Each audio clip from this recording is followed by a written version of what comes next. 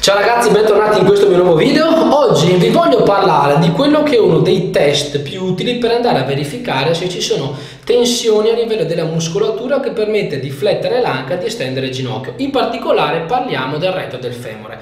Perché è utile andare a verificare se ci sono tensioni in questa muscolatura? Perché ci sono alcuni movimenti didattici che permettono di andare a sviluppare alcuni movimenti come la bandiera oppure per esempio ehm, la planche oppure per esempio il front lever ma anche per esempio la verticale che possono soffrire di difficoltà di esecuzione nel momento in cui ci sia troppa rigidità in questi muscoli. Quindi se anche tu stai sviluppando il front lever la planche se per esempio sei incappato in varianti come la mezza completa e vedi che i tuoi fianchi tendono a chiudersi magari pur avendo la forza nelle spalle nei dorsali per tenere la posizione vai avanti a vedere questo video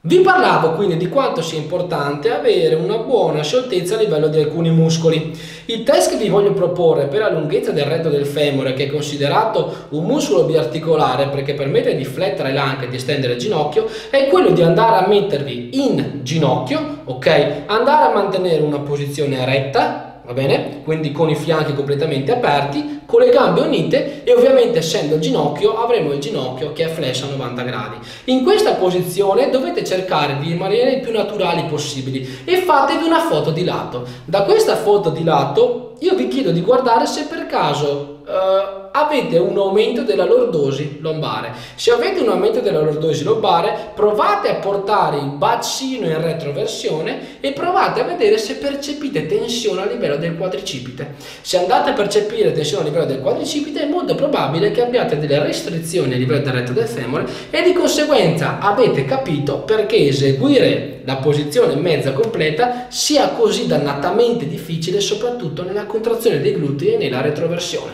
Per tanti altri video che riguardano mobilità articolare, esercizi per il del femore, vi consiglio di andare a cercare sul mio canale YouTube, iscrivetevi sul mio gruppo chiuso di Facebook dove potete condividere esercizi, video, chiedere consigli e ci vediamo al prossimo video.